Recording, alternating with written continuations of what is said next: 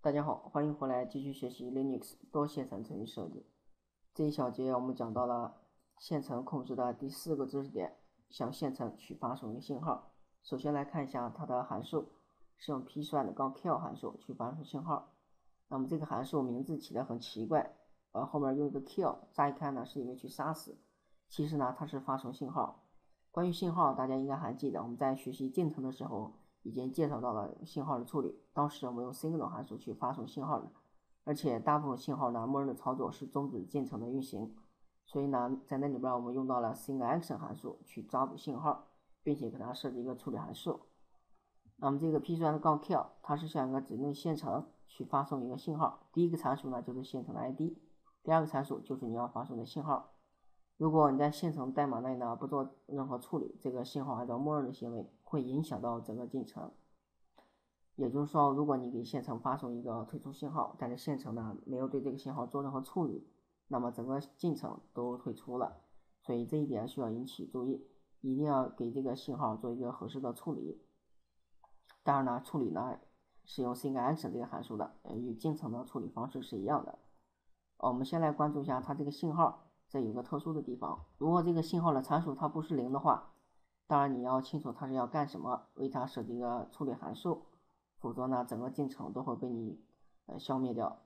如果这个信号是零，那么它是一个保留信号，并没有发生任何信号，它有它的作用。那么关于这个作用呢，我们先来看一下它的手册。我来慢一下它的手册，慢批算的高 Q。在这里边，我们先看到，哦，它包含同件 signal.h，然后呢，需要链接线程库。再往再往下呢，这句话，如果这个信号是零，它并没有发送任何信号，但是如果出错了，错误码这样会被设置的，它可以用来去检查这个线程 ID 是否存在的。那么接下来我们看一下它返回值，成功当然是零了，在线程操作内呢，基本所有的函数成功都是零，失败是个错误码。那么这个错误码第一个。ESRCH，它的意思并没有一个指定的 ID 存在着。我第二个参数呢，它是发送的信号失误了。啊，接下来我们来先发送一个零信号，看一下这个返回值到底是什么意思。给它起个名字，呃，thread q 一点 c 吧。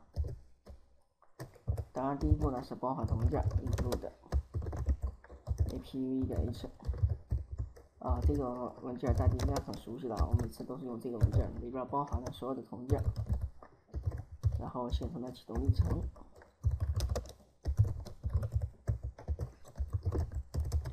在这个新线程中，我就打一句话就行了，证明它存在着。我是新线程。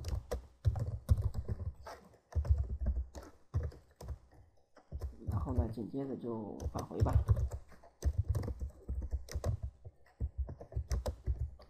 啊，由于我要写的这个简单的历程呢，啊非常小，所以我之前没有做任何框架的设计啊，直接写就行了。我想大家学习到这里，对于一个小的程序呢，不需要去过多的了解它的框架，一下子就看出来了。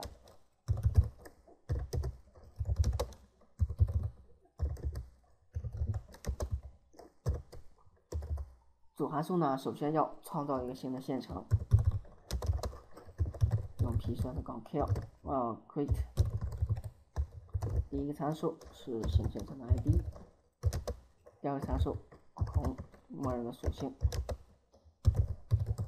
接下来的参数是启动历程，第四个传参呃空，同样呢，我们需要做一下判断，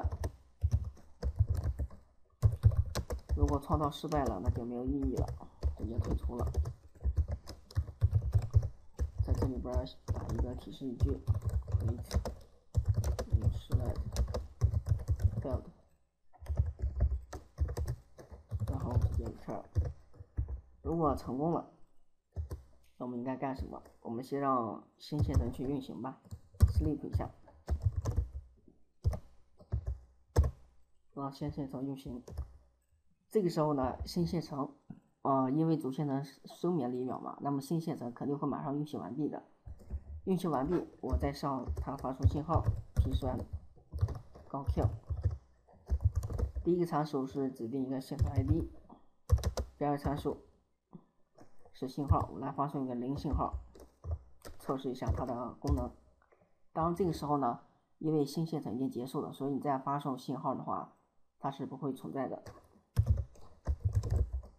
那我们来判断一下它的错误码。我们看一下手手册，再打开一个窗口。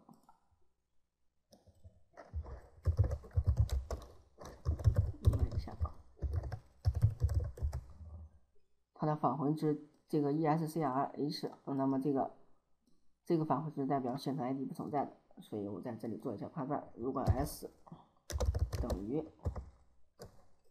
s r c h，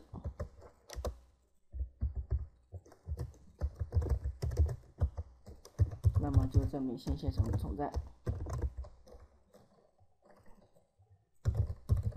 Thread PID is not found。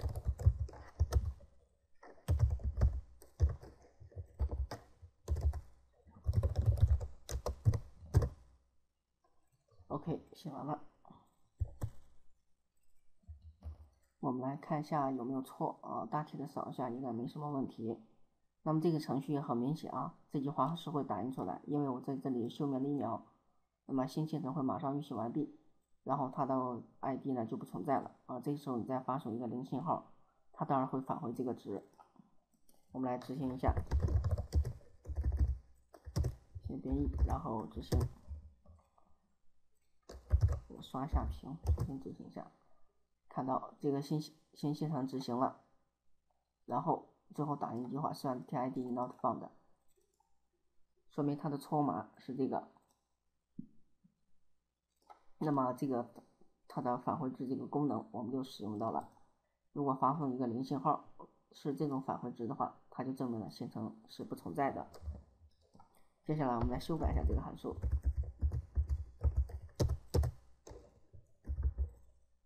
我先不让他睡眠，把这句话去掉。然后呢，新的线程，我先让他睡眠一秒钟。这个时候呢，新线新线程肯定是不会先执行的，因为它在睡眠一秒钟。我提前向它发送了一个信号，那么我不能发送零了，这回我要发送一个实际的信号，那个退出信号。但是大家可以看到，我没有做任何处理，呃，我没有去用 SYN 函数去处理这个信号，那么它就会采取一个默认的操作，是终止这个进程的运行。我们来试一下。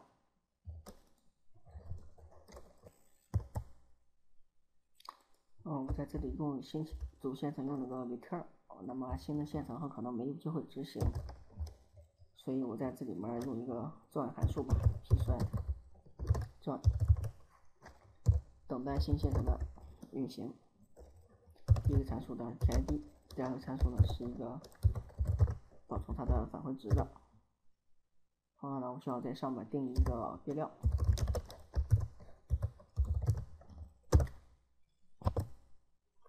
那么这个样子，当它创造完以后呢，即使新线程先运行了，也是休眠，它又回到了主线程，这样主线程呢就有机会去给它发送一个信号，啊，紧接着呢发送完信号，主线程用 join 函数去等待新线程的继续运行完毕，那么新线程就会收到这个信号，但是没有做任何处理，我们应该会看到这个这句话是打印不出来的，因为这个信号一旦发过来，整个进程都结束了，所以它的这句话也打印不出来。